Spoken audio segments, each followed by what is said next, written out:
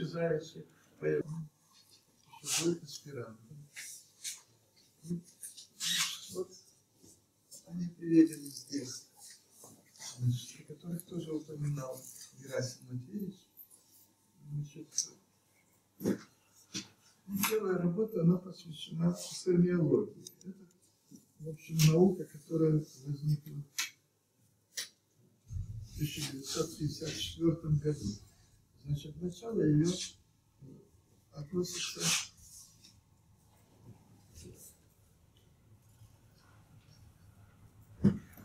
значит, связано с работой Ильи Михайловича Лившица и Арнольда Марковича Косевича, которые рассчитали э, намагниченность металлов в случае произвольного закона дисперсии носителей заряда. Значит, речь шла об осцилляциях, значит, эффект Шубникова, газа монархии.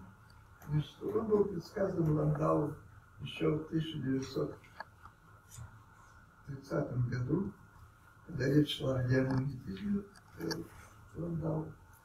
И, значит, поскольку эта работа спонсирована была Капицей, значит, он ее выполнял в Кембридже, а Капица занимался сильными магнитными полями.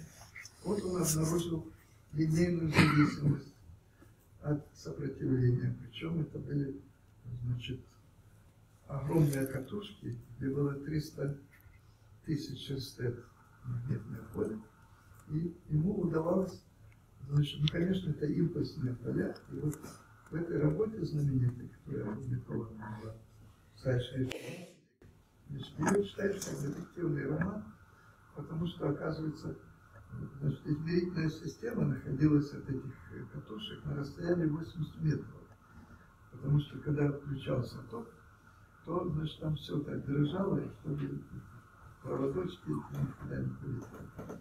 Ну и потом это действительно великий экспериментатор, значит, ему удавалось наблюдать сверхтонкие вещи. Значит, фактически он работал при температурах жидкого кислорода, жидкого воздуха. Понятно, что значит,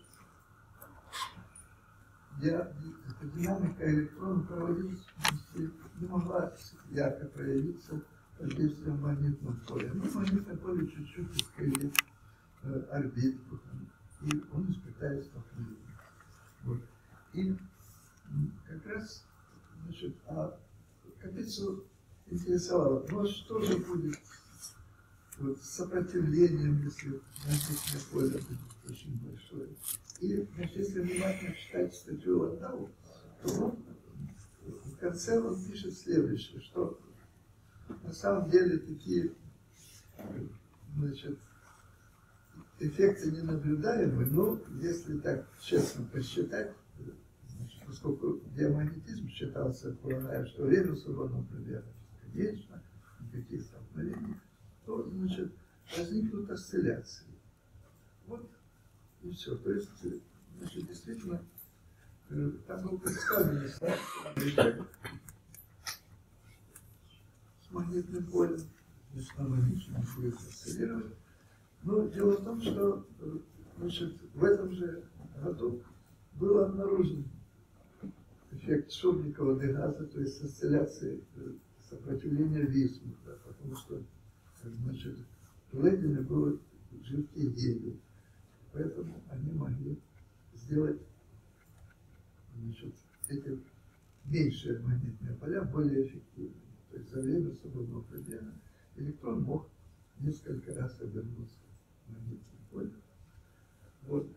То есть вот это пессимизм Ландау оказался ошибочным, но у него были черновички, и, значит, э, когда был в гостях в институте физпроблем Дэвид Шемберг, это его первый аспирант английский, то, значит, он отдал ему эти черновички. Ну и со временем, значит, он не мог публиковать от имени Ландау Шемберг эти листочки, он дал Рудольфу Пайруса, который, значит, там работал над текстом. И вот осцилляционная зависимость э, на магничности была опубликована в приложении к статье Шендлера. Ну, с указанием, что это действительно работало. Ну, а фактически, кроме Шендлера, еще Хайкер и Луфти значит, активно занимались осцилляциями Верки и Лазаря.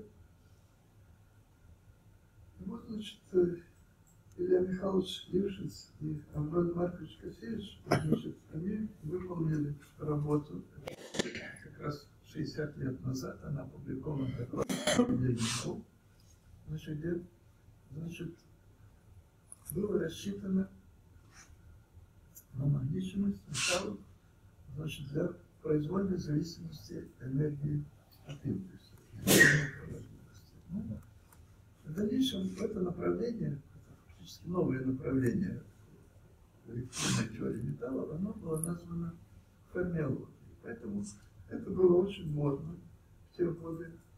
И вот, значит, мы с Ильей Михайловичем смотрели галлиономагнитные явления, а Юрий Аркадьевич, которым я познакомился в 1958 году, он занялся э, термоэлектрическими эффектами. Термоэлектрические эффекты, они более удобны для наблюдения осцилляций, потому что значит, для, для осцилляции необходимо, чтобы расстояние между квантовыми уровнями было много меньше энергии Ферми, с одной стороны, но много больше температурного развития термической функции То есть много уровней получено в этот процесс. И поэтому ясно, что термоэлектрическое поле, оно, значит, содержит еще дифференцирование по хемкотенциалу. Теперь ясно, что если дифференцировать очень быстро осциллирующую функцию, то тогда большой частотой, то тогда появляется еще большой множитель. То есть выигрывается целый порядок по параметру, значит, h омега, расстояние между уровнями э, энергии. Вот. Ну, вот на самом деле мы как раз и подружились с Юрием Аркадьевичем в 1958 году, поскольку мы занимались радиологией.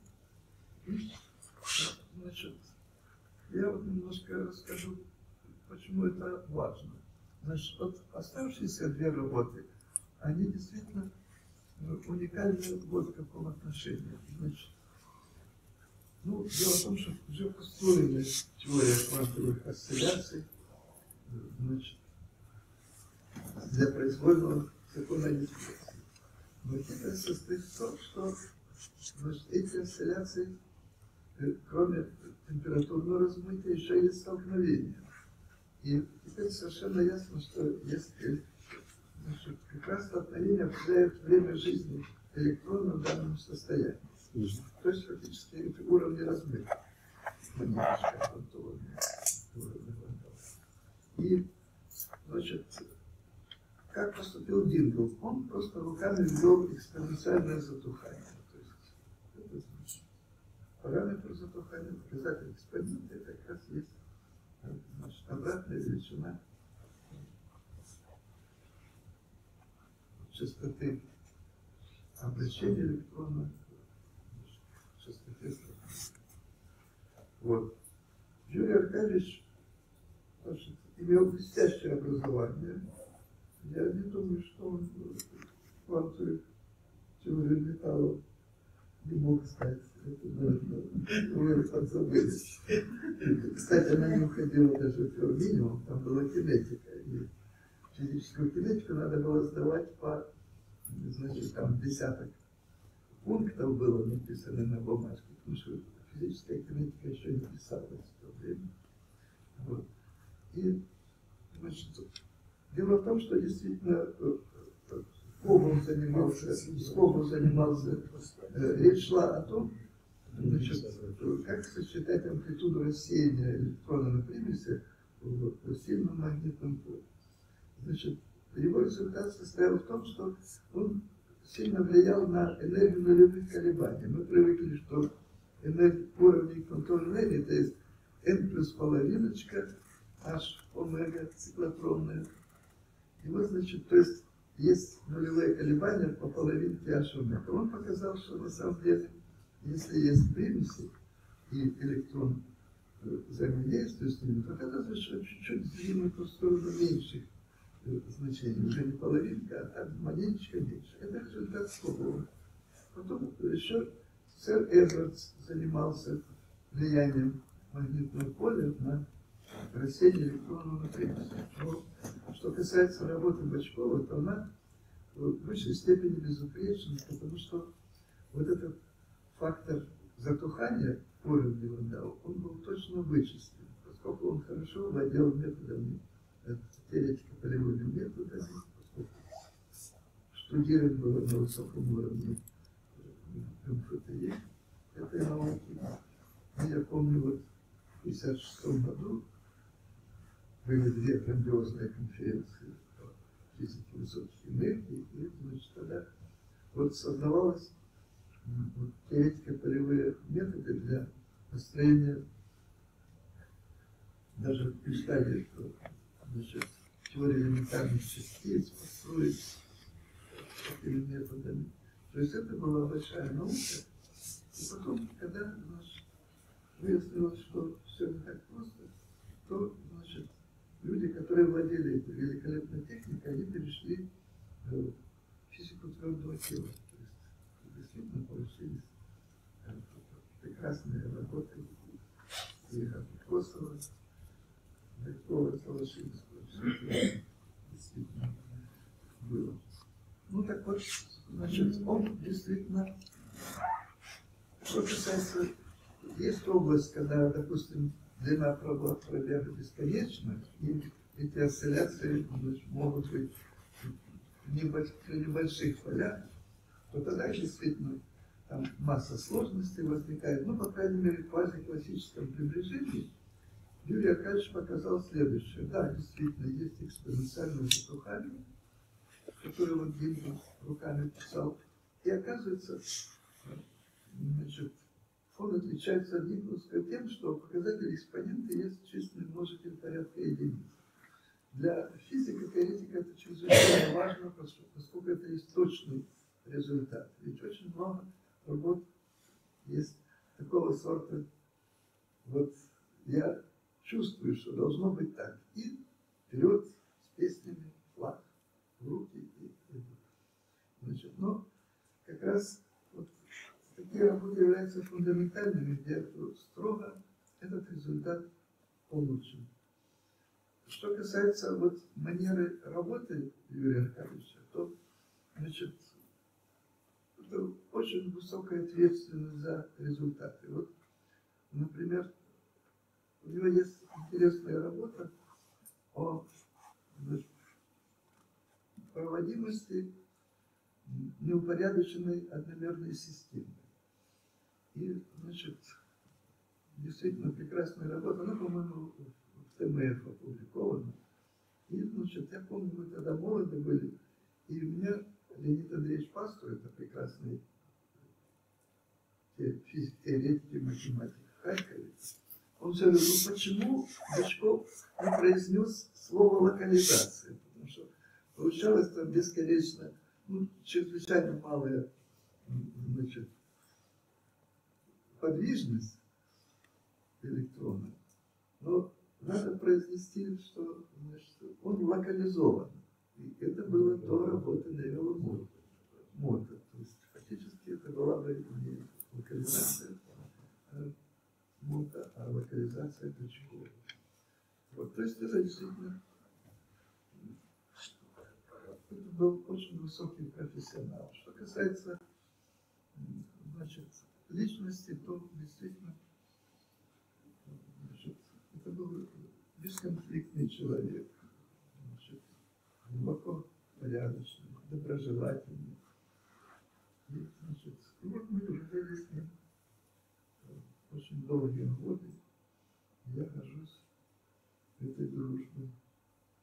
Он, кстати, значит, было время, когда я был значит, без работы, он по дружбе попросил Захарова взять меня на работу в Институт физики Ломоносова.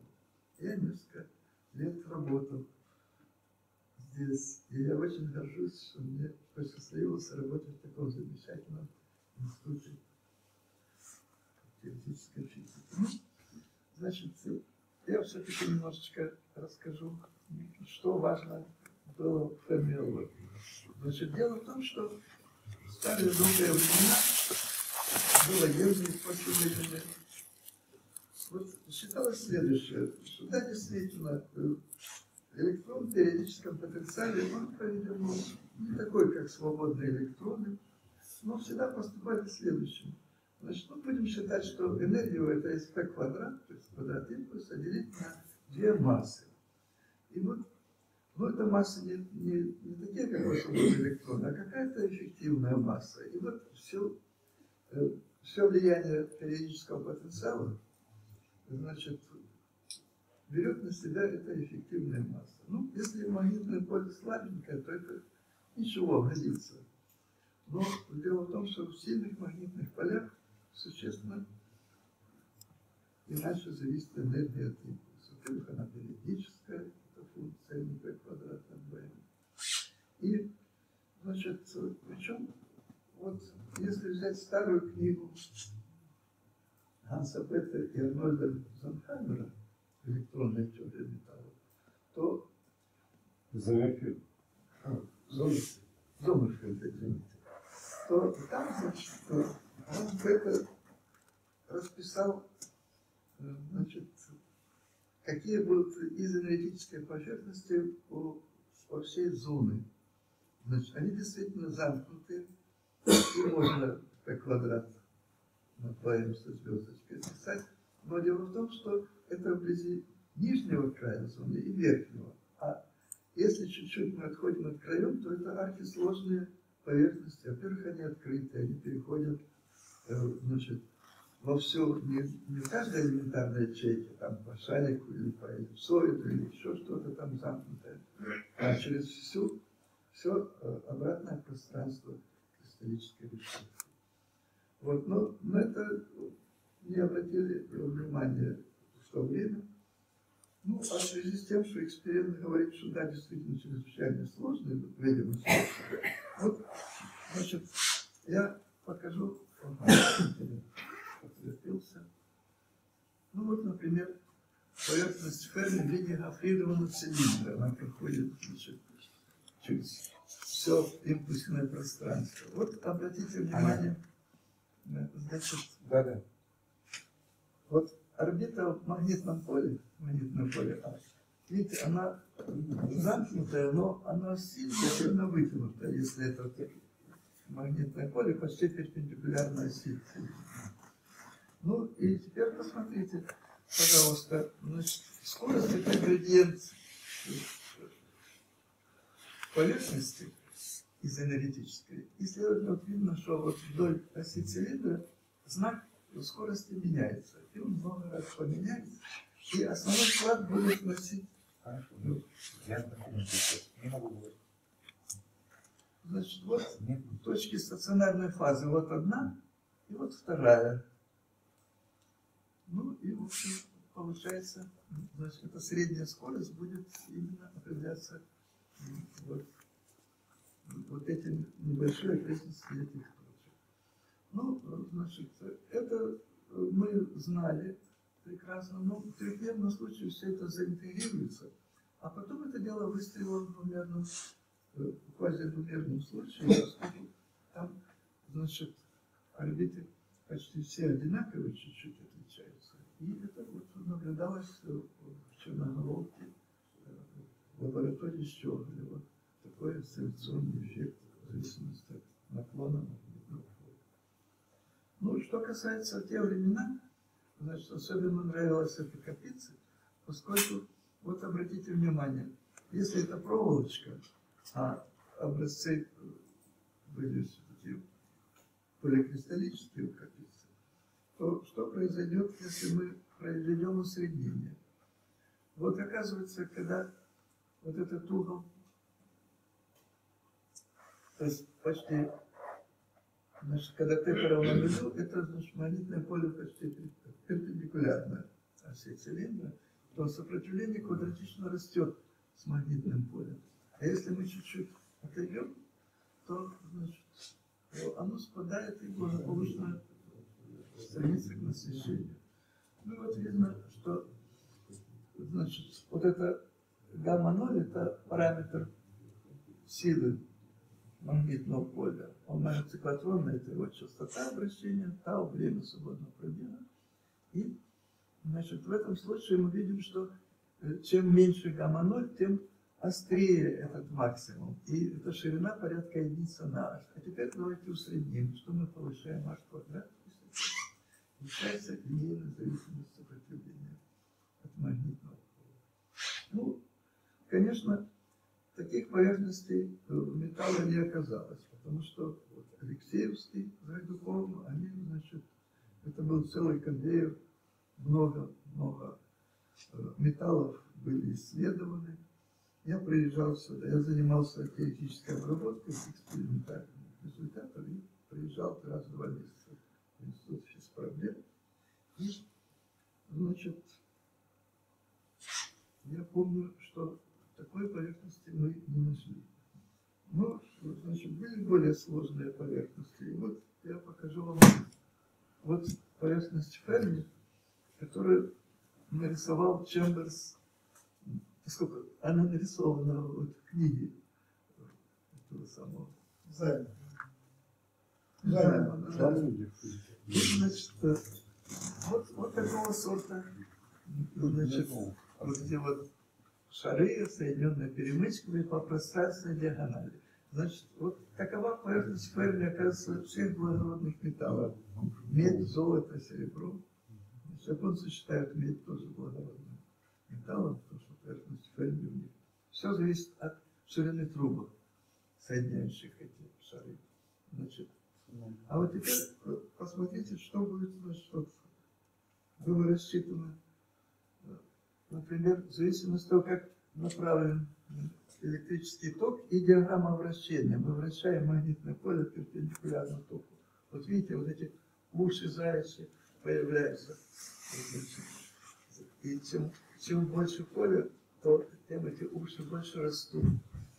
Значит, вот это все э, наблюдалось экспериментально. То есть э, о p квадратном дворе не может быть и речи. Дело в том, что это кубическая симметрия. Если нет магнитного поля, тогда легко сообразить, что все главные оси, главное значение э, тензора электропроводности или сопротивления все равно – они одинаковые. Это означает, что полная мизотропия. Но стоит включить магнитное поле, все становится изотропным. И таким образом. Вот как раз первая работа была посвящена значит, вот анализу не гальваномагнитных эффектов, а термо. Даже не термо, а термоэлектрических эффектов. Это сопротивление или магнит сопротивление? Это Сопротивление. Без магнитного поля. Нет, это с магнитом. Магнит сопротивление. С магнитом. Сигма XX, да? Да, да. Вот. Потом следующее увлечение, значит, Николай Евгеньевич любил, что теоретики вот, активно занимались тем, что он хочет измерять. И, значит, и вот он значит, увлек магнитным пробоем. Ну, дело в том, что, значит, как-то и мне, значит, я приехал в Москву, он говорит, сейчас столько интересных вещей, магнитных пробой и так далее. Он тоже собирался этим заниматься. Ну, поскольку в Харькове там активно насел, когда Алексеевский оставил такой Юру, значит, они со Слуцким даже обзор написали по магнитному пробою опубликовали. Но все-таки душа пробоя у него была, и он выполнил несколько работ уже по электрическому пробою.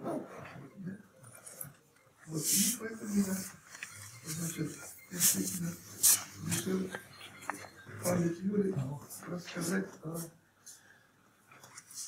магнитном пробое. вот случай квазидвумерных проводников. Значит, ну, тут суть записана вот что вот мы берем произвольный закон дисперсии, значит, в виде быстро сходящихся рядом. Вот энергия. Раскладывается вот в такой ряд. Раздумали, а теперь вперед мы рассчитывать. То есть так же, как обычно в обратной задаче. Мы предполагаем, будто в природе спектр теперь в результате оказывается, что значит, произвольный закон дисперсии, вот видно, что э, значит, при существенно больших наклонах, когда тангенс это много больше единицы, вот видна осцилляционная зависимость. И, значит, и вот мы можем определить диаметр поверхности Ферми вот с помощью вот таким способом. То есть оказывается, что в двумерных, квазидвумерных проводниках значит, можно получить Ну, то, что там все поверхности Ферми открыты, это само собой разумеется. Вот. И вот, значит, это как раз вот диаметр вот этого цели. Ну, на самом деле оказалось, эксперимент говорит, что они более сложные поверхности, и даже есть целый класс веществ, где поверхности многосвязаны. Ну вот рассматривается пример, когда одна поверхность представляет собой э, значит, слабо гофрированный цилиндр, а вторая это две гофрированные плоскости. Вот. И теперь ситуация такая, что если вот маленечко вот давление приложить, то действительно происходит деформация спектра, и они могут сблизиться. Вот в точках А и Б они очень близки друг к другу. При этом значит, возникает, они могут значит, переходить с одного листа на другой.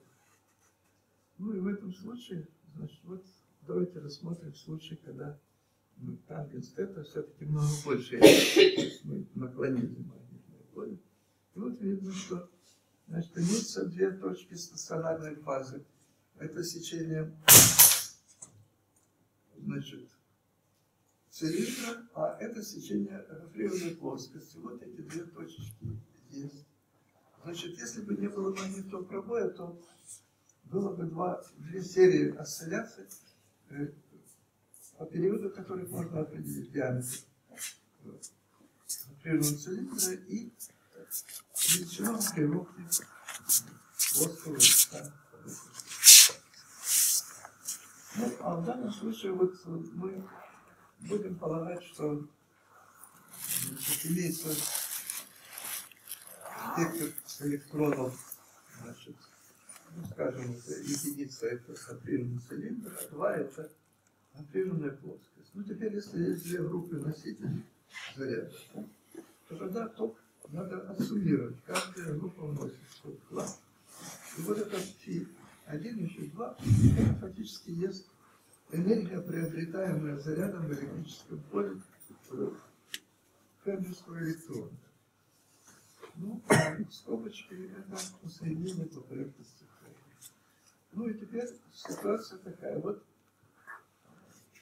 вот фактически записана эта величина, то, что они приобрели под действием электрического поля. Дальше, значит, и вот происходит э, акт переброса с одного листа на другой с вероятностью W, значит, в различные моменты времени лямбда идет. Значит, W это значит, он переходит на другой лист, а единица минус W, W вероятность ну, вот. Можно записать такие два уровня. Теперь дальше, значит, да, будем считать, что эти орбиты периодические. Слава Богу, легко записать. И вот мы видим следующее. По крайней мере, между двумя актами магнитного пробоя, он, конечно, есть не меняет свой. И вот, значит, первое слагаемое, это которое он приобрел значит, на этом пути, а это его все прошлое, что он приобрел до этого. Вот, поэтому, значит, вот минус, это минус 0, это перед магнитным пробоем, а идет плюс 0 после магнитного пробоя. И вот мы возвращаемся в прошлое. Мы хотим теперь э, значит, изначально пойти в прошлое. И это можно значит, легко э, решить эту систему уравнений. Значит, тут важно следующее, что если движение периодическое, то энергия, приобретаемая на каждом таком шаге между столкновениями, она одинакова, конечно. И вот она обозначена буквочкой А. Теперь вот давайте рассмотрим два случая, когда W много меньше 1. То это, я тут квадрат, сколько? да? Значит, то есть фактически уже он не возвращается на прежний лист, то есть происходит это. А, и вот это легко считается. То есть вот Т1 и Т2 это периоды движения в магнитном поле. И вот значит, вот это гамма-1 это фактически сильно магнитном поле, это отношение периода к времени свободного пробега. Ну, э, дальше вот оказывается следующее, что значит, если математическое ожидание магнитного пробоя порядка единицы или больше, то тогда можно э, значит, решить эту задачу вот, значит, наоборот, когда магнитный пробой значит, немалая величина. И вот получается, посмотрите, вот результат, который оказывается очень похож на тот, который мы получили значит, случае малых W. Ну вот в результате, значит, можно будет теперь сосчитать вот силу ZZ или проводность до нормальных слоя. Вот, значит, вот видно, здесь имеется вот слой.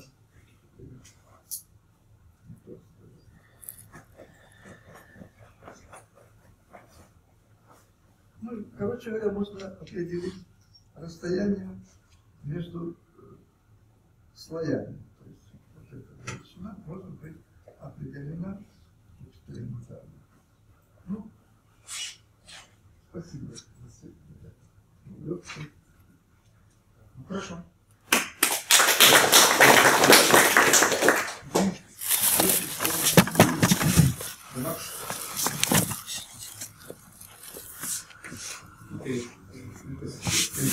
因